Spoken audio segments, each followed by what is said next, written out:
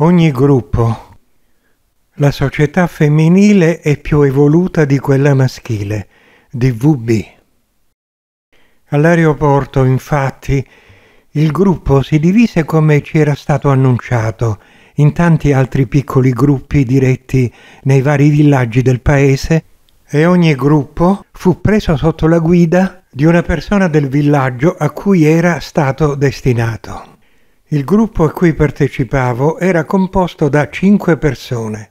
Bianca, un'insegnante di lingue di Napoli, Carolina, un'ex monaca di clausura di Roma, Don Antonio, un corpulento parroco di Viterbo, Francesco, un giovane studente di circa 20 anni di Viterbo, e la sottoscritta.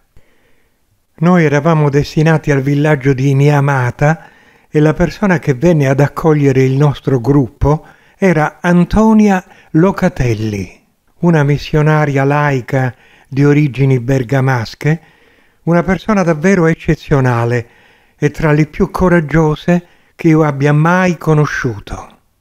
Ora purtroppo non c'è più, travolta dalla violenza e crudeltà dell'ultima guerra civile in Ruanda, ma vi parlerò ancora di lei.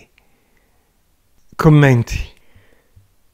Nei viaggi organizzati spesso si stringono amicizie che durano solo per la durata del viaggio. Questo accade perché non sono amicizie ma conoscenze in cui il sentire non ha il tempo di nascere. Ogni gruppo è un'aggregazione di individui che hanno affinità vibratorie. Questo è è il modo di manifestarsi dell'unità spirito che tutti comprende.